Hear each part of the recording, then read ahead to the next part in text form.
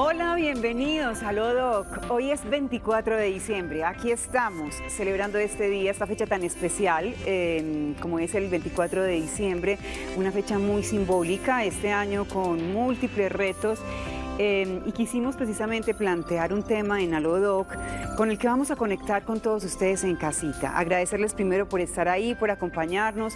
Eh, la participación de ustedes es muy importante. Los invitamos para que a través de nuestras redes sociales participen eh, con el numeral Alodoc, arroba Telemedellín, numeral Alodoc.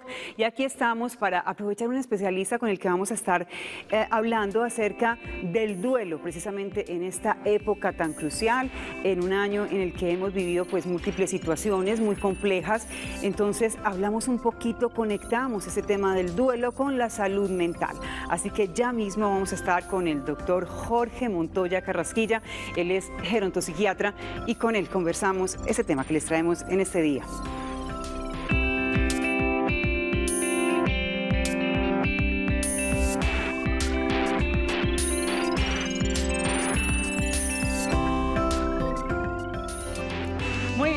Decía, estamos iniciando este espacio de Alodoc en esta fecha especial, 24 eh, de diciembre, en un año en el que hemos tenido pues eh, situaciones complejas. Hay quien llama este año eh, un año muy atípico, hay quien dice que es un año difícil, hay otros que ha sido, para quienes ha sido un año de aprendizajes, cada quien desde su experiencia seguramente pues lo, lo mira de una forma o de otra.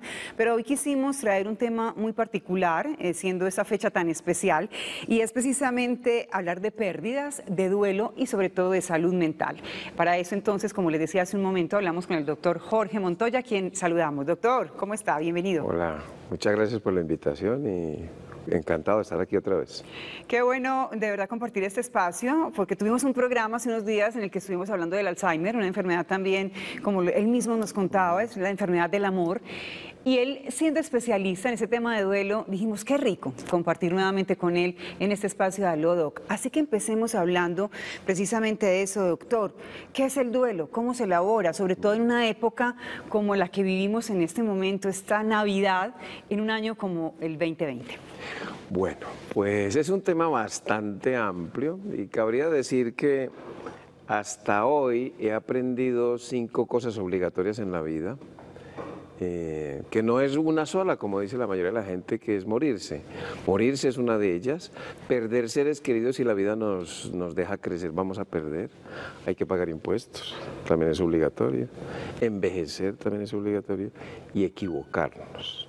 Estamos aprendiendo. Entonces, de cinco cosas obligatorias, pues tenemos tres, eh, perdón, dos que son relacionadas con la muerte y nunca nos planteamos hasta que nos toca. Entonces, ¿qué es duelo exactamente?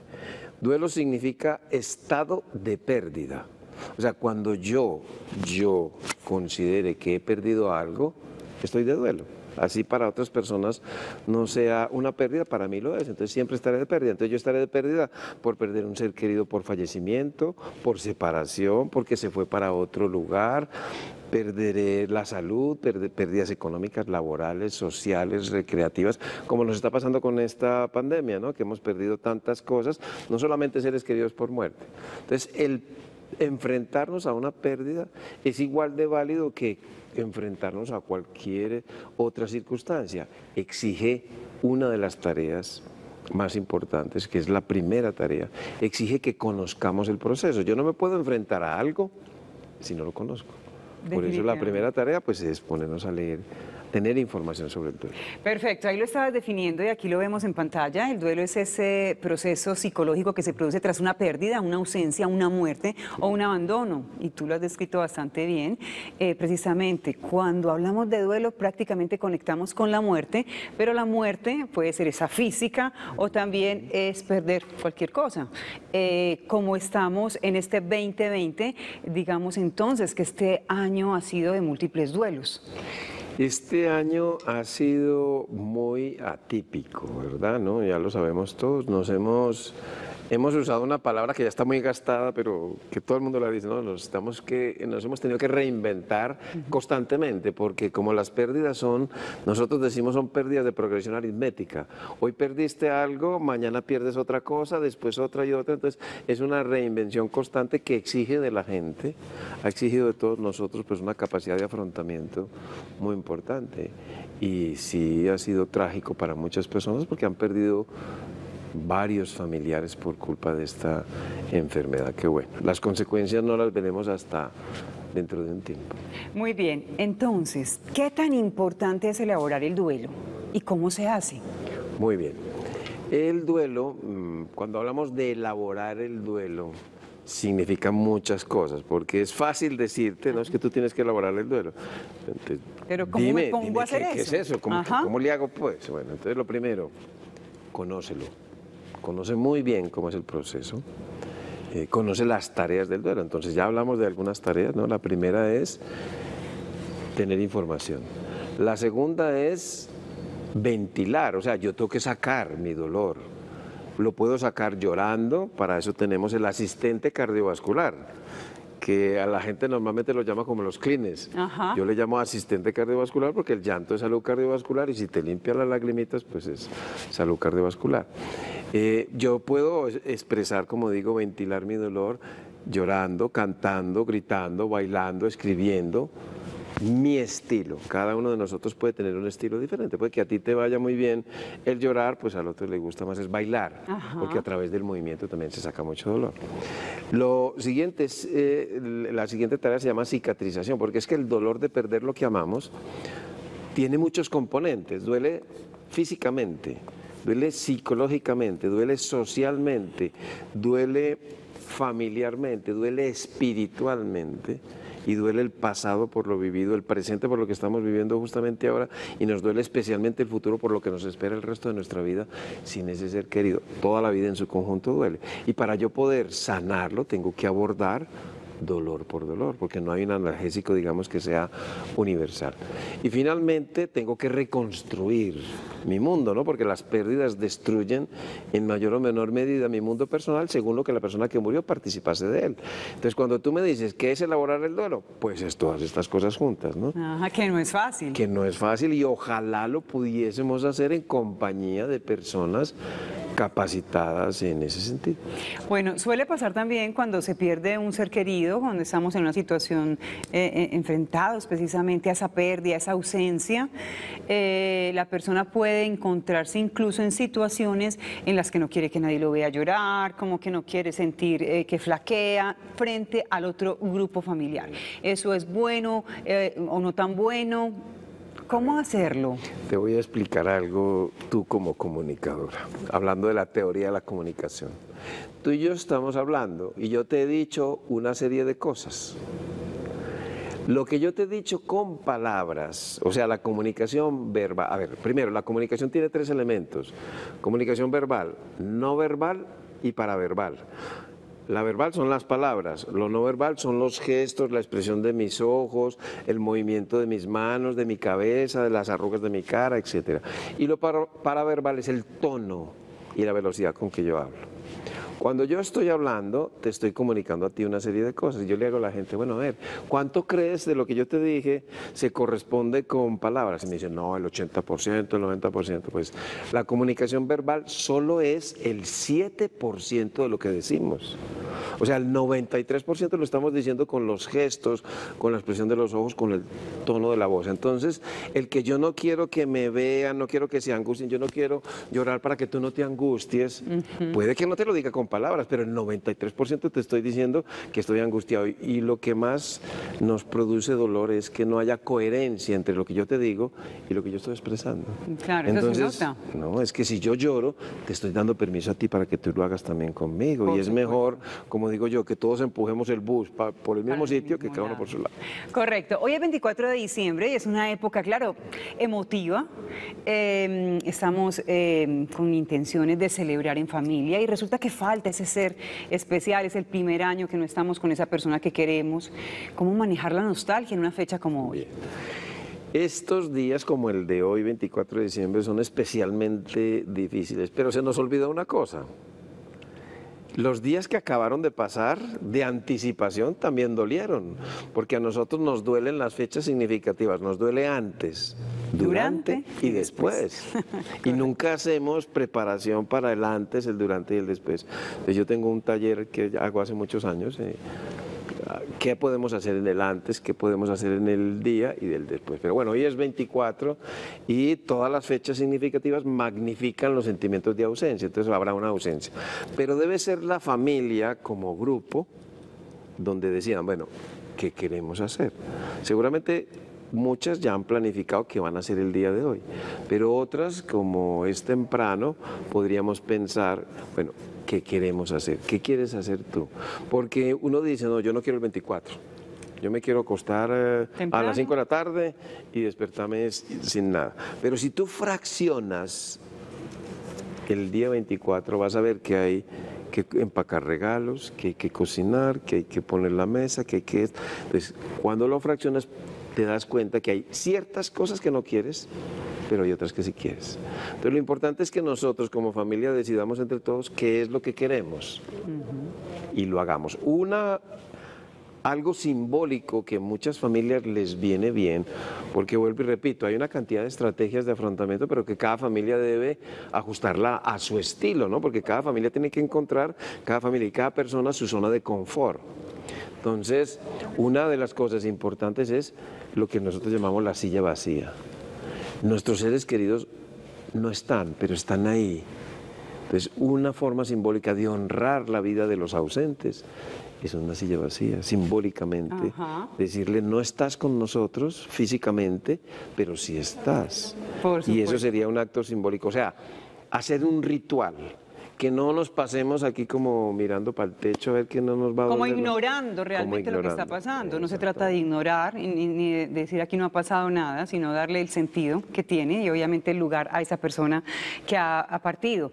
Eh, estábamos hablando también de este año, de esta enfermedad COVID-19 y pues podríamos decir que complica un poco el duelo la enfermedad COVID-19? Sí, claro que sí, claro que sí. Y, yo he dado ya muchas conferencias en ese sentido. Bueno, hay muchas cosas asociadas a, este virus. Primero, la pandemia en sí es una crisis concurrente de mucha gravedad porque ha amenazado la vida de todos. El duelo es un estrés grave, el más grave que podemos soportar desde el punto de vista psicológico. Entonces se le añade otra crisis. Y yo enfrentar dos crisis de tanta gravedad, pues va a ser difícil y me va a producir una gran sensación de cansancio. Los recursos externos que yo antes utilizaba, mm, mi vida social, mis amigas, mi grupo, no sé qué. El apoyo que se encuentra en esos grupos ahorita. Se reduce completamente, entonces depende mucho la recuperación de mis recursos internos que se pueden, eh, digamos, agotar. Eh, la falta de rituales, la falta de acompañamiento, el que ya no puedas ir al cine, que no puedas ir a los parques, que no puedas salir a la calle, ya no puedes hacer tu voluntad. Entonces hay muchas pérdidas de tipo volitivas. Hay una cantidad de pérdidas que ha complicado mucho el proceso. Eso no significa que vaya a ser demasiado grave, no. Si hay un buen acompañamiento y le incorporamos el simbolismo, que seguramente ahora me lo preguntas, pues no va a ser tan complicado. Perfecto. Hoy estamos hablando con el doctor Jorge Montoya, gerontopsiquiatra, acerca de pérdidas, de duelo, de salud mental en este espacio de Alodoc. Vamos a hacer una pausa y ya regresamos.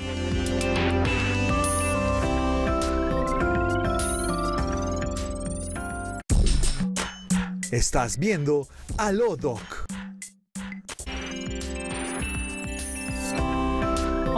24 de diciembre y estamos celebrando este día aquí en Alodoc, hablando de un tema, la gente dirá, pero ¿cómo vas a celebrar el 24 de diciembre hablando de duelo, hablando de tristezas? No, también estamos hablando de salud mental y de cómo enfocar una situación triste y dolorosa, como puede ser la pérdida de un ser querido o una pérdida, como lo hemos hablado a lo largo del programa, de cualquier índole. Este año ha sido un año retador, complejo, pero quisimos traer este tema porque nos parecía muy propicio y quién mejor que el doctor Jorge Montoya, precisamente para esa desarrollarlo. Doctor, nuestros televidentes nos dejan también sus inquietudes. Aquí tenemos una pregunta que nos deja ese televidente y nos dice, perdí a mi padre y no pude ir a su funeral. ¿Cómo puedo manejar la profunda tristeza que siento y la impotencia de no haber estado cerca en ese momento? Muy bien. Bueno, ahí tenemos que incorporar lo que decía antes del corte, ¿no? Del simbolismo. De hecho, las personas estamos familiarizadas con la ausencia de cuerpo. Por ejemplo, en países como el nuestro, tristemente, y, países como México también, donde tenemos tantos desaparecidos, que no hay cuerpo. Cuando hay un accidente de un avión, por ejemplo, cuando hemos tenido esos efectos del invierno que no aparece un cuerpo de una persona, entonces no, estamos, no es una situación ajena al ser humano, ¿verdad? Entonces lo que tenemos que hacer es un entierro simbólico, una despedida primero simbólica. Afortunadamente que ya lo conocíamos de antes con las eh, celulares que tenemos ahora y las videollamadas, pues digamos que hubo algunas personas que pudieron despedirse. Aquel que no lo hizo puede despedirse simbólicamente a través de una carta frente a la tumba, frente al osario o simplemente frente a una foto o cuando vas caminando hablando, eso lo llamamos la técnica de la silla vacía modificada, que es hablarle al ser querido y decirle, pues lamento mucho no haberme podido despedir, me hubiera gustado estar ahí para consolarte, lo que sea que quieras que decirle. Y luego podemos hacer encuentros a través de una de las tantas plataformas que tenemos eh, con la familia y hacer un entierro eh, virtual. Estamos aquí, los de aquí de mi casa, escribimos una cartica, la leemos, hacemos una oración, lo que la gente quiera. Luego los, cada uno de los que está en cámara, pues con sus familias, hacemos exactamente lo mismo. Luego hacemos un brindis, eh, terminamos con, compartiendo anécdotas con el ser querido y eso sí, para añadirle, digamos, más trascendencia al ritual, como lo pregunta el televidente, es que hagamos la novena virtual otra vez, con la misma familia, tal vez un poquito más corta, pero hagamos los nueve días para darle esa trascendencia que merece la pérdida de un ser querido, que merece la vida de ese ser querido. Perfecto. Doctor Jorge, eh, puede ser entonces em, que cuando una persona muere en esas condiciones se hace más complejo ese duelo que cuando vemos a una persona enferma que tiene un proceso de deterioro, que poco a poco eh, va perdiendo fuerzas y finalmente decimos, qué lástima, yo no quiero ver a mi mamá, a mi papá sufriendo de esta manera y cuando muere casi que es un descanso, obviamente acompañado de mucha tristeza y mucho dolor, pero eh, hay diferencia en eso, porque claro, también viene aquí una pregunta y quiero como enlazarlas. Eh, cuando muere una persona mayor también a veces se le resta importancia y dice, no, es que ella estaba muy mayor, como quien dice, pues es que no le quedaba sino morirse. Y eso duele también en el alma. Entonces, ¿ahí qué podemos decir?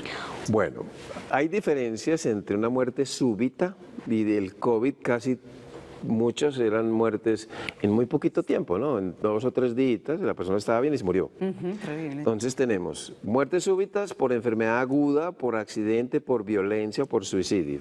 Y muertes anticipadas por una enfermedad más o menos larga, puede ser cáncer, puede ser una enfermedad hepática, renal, pulmonar, cerebral, como hablamos de las demencias que son tan largas. Entonces, obviamente hay diferencias, pero no es posible decir con con certeza que duela más una cosa que la otra, porque no contamos con un aparatico que yo llamo un dolorómetro, como para calibrarle qué es lo que a la gente le duele. Lo que sí sabemos con certeza es que las muertes súbitas producen un mayor estado de shock emocional, mayor aturdimiento, mayor confusión que una muerte anticipada que permite cierto periodo de preparación, ¿no? de que uno se prepara.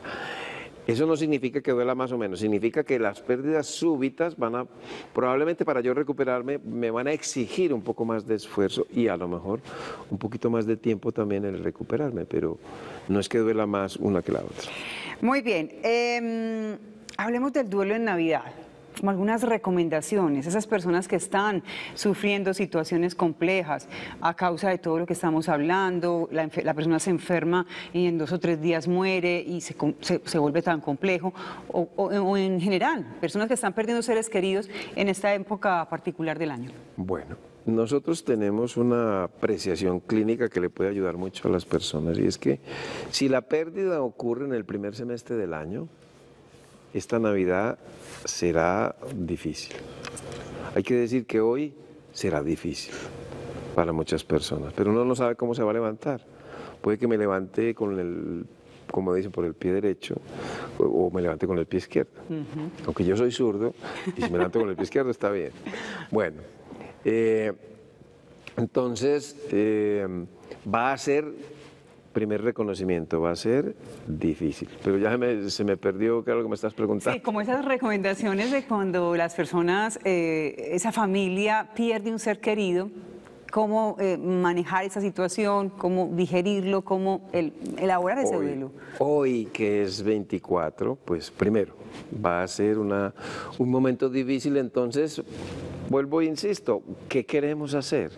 Puede que nosotros como familia optemos por irnos lejos del ruido y de la fiesta y nos vamos para un hotel en un pueblo lejos del casco urbano y lo pasemos en familia. Lo importante es que se conserve la reunión familiar, porque habrá cosas que yo quiero eh, conservar como familia.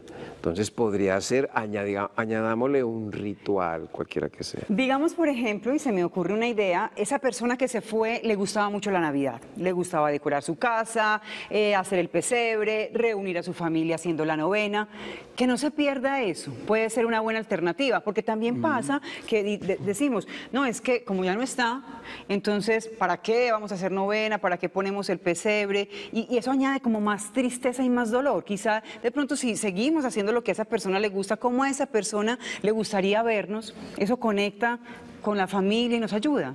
Puede, podemos hacer, eh, continuar las cosas como era antes, pero que no sea más martirizante de lo que ya es.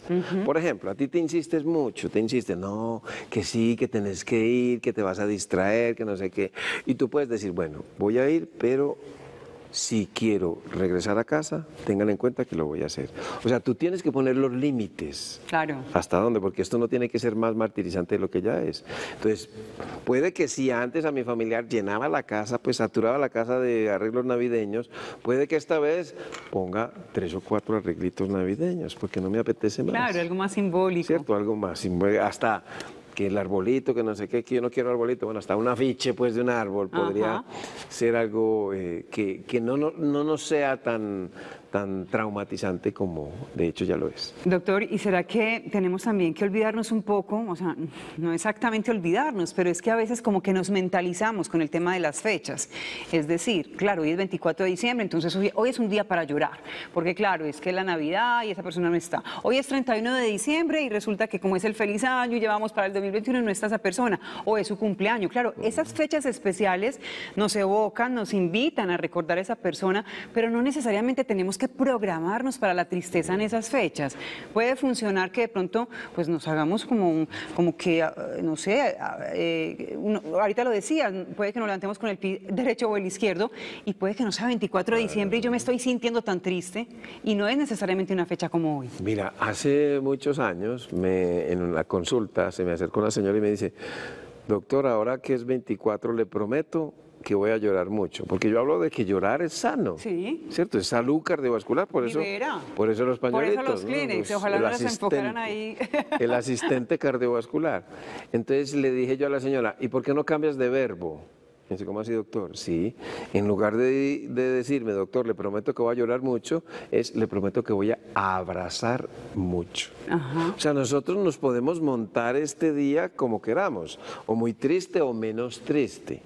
Va a ser difícil, pero incorporemos, por ejemplo, los que estamos en familia, ¿no? Los poquitos, no ir abrazando a la Claro, calle por, claro. las, por la distancia que tenemos que hacer.